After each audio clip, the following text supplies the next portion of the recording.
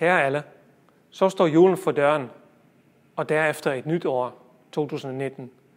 Jeg vil gerne benytte denne lejlighed til at sige en stor tak til alle øh, medarbejdere og ledere i administrationen for de resultater, I har skabt i 2018.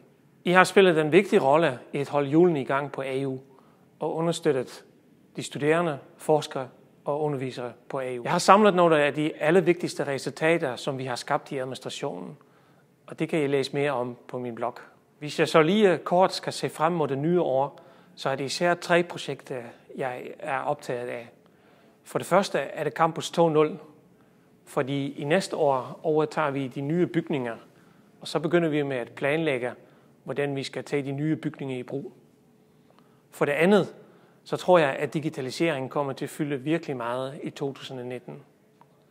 Og for det tredje får AU en ny strategi, og der skal vi også som administration bidrage til for at realisere de nye målsætninger.